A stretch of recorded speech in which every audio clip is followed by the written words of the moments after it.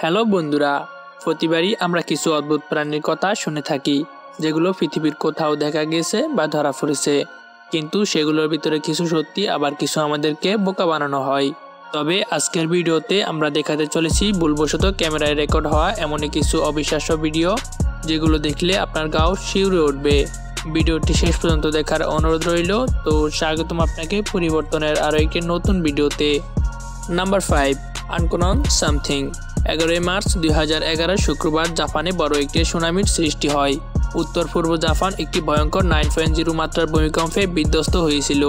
বিজ্ঞানীদের মতে, এই শক্তিশালী ভূমিকম্প পৃথিবীর এই অংশে আরও ছয়শো বছর আগে একবার হয়েছিল এবং পৃথিবী ধাক্কা খাওয়ার ফলে বিশাল তিরিশ ফুট তরঙ্গের সাথে সুনামির সৃষ্টি হয়। তাই দুইশো পনেরো বর্গ মাইল জমিন পানির নিচে অদৃশ্য হয়ে যায়।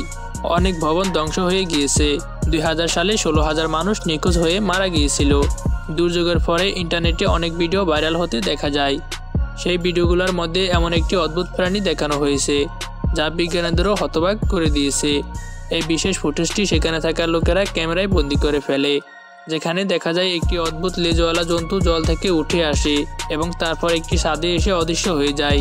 তবে ভিডিওটি ভাইরাল হওয়ার পর কিছু লোক মনে করে এটি একটি গ্যাস লিক বা রাসায়নিক হতে পারে, যা পানির স্পর্শে এলে এরকম প্রতিক্রিয়া দেখায়। কিন্তু এখনও বিজ্ঞানীরাও এর সঠিক ব্যাখ্যা দিতে পারেনি।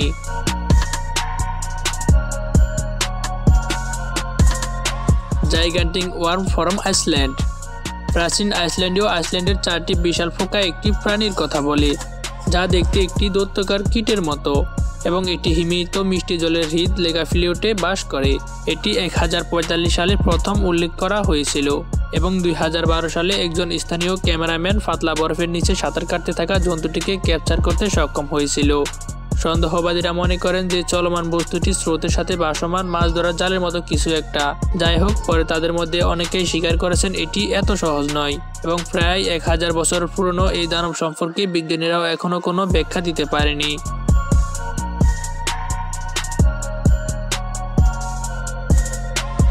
Weird monster from China. দুই হাজার পনেরো সালে চীনের বাসিন্দারা জঙ্গল থেকে অদ্ভুত দেখতে এই প্রাণীটি সংগ্রহ করেন আর একটি খাঁচায় বন্দি করে ফেলেন। তবে তারা এর আগে এরকম প্রাণী আর কোথাও দেখেননি এবং আপনি এখন দেখতেই পারছেন প্রাণীটির ভয়ানক নখ রয়েছে।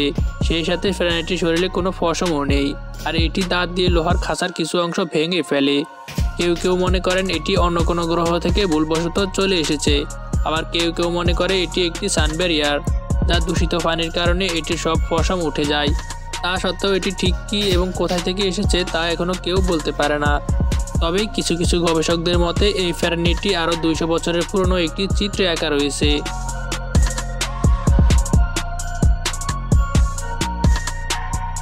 এই ভিডিওটি দুই হাজার পনেরো সালের জুন মাসে আঙ্গোলার উপকূলের কাছে একটি সমুদ্রের নিচ থেকে তোলা হয়েছিল, যেখানে কিছু বিজ্ঞানীরা সমুদ্রের নিচে তেলের সন্ধানে যায়। আর তাদের ক্যামেরার লেন্সে অদ্ভুত দেখতে এই ফেরানিটি ধরা পড়ে। তখন তারা মনে করেন এটি কোনো জেলিফিশ। আবার তদন্ত করে দেখা যায়, এত গভীরে জেলিফিশের থাকার কোনো কথাই নয়। তাহলে অদ্ভুত দেখতে এই ফেরানিটি কি? যার ব্যাখ্যা এখনও বিজ্ঞানীরাও দিতে পারেনি। তখন কেউ কেউ মনে করেন এগুলো পৃথিবীর ধ্বংসের কিছু নমুনা।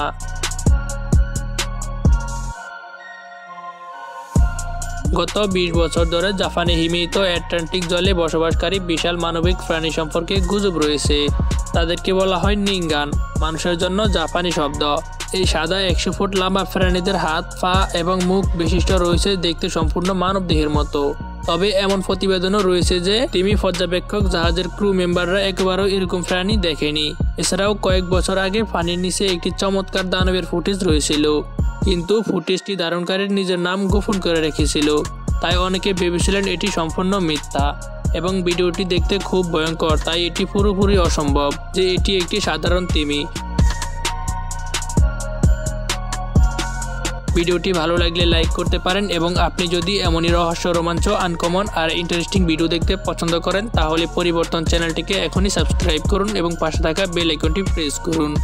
তো দেখা হচ্ছে নতুন কোনো ভিডিওতে ততক্ষণ পর্যন্ত ভালো থাকবেন। ধন্যবাদ।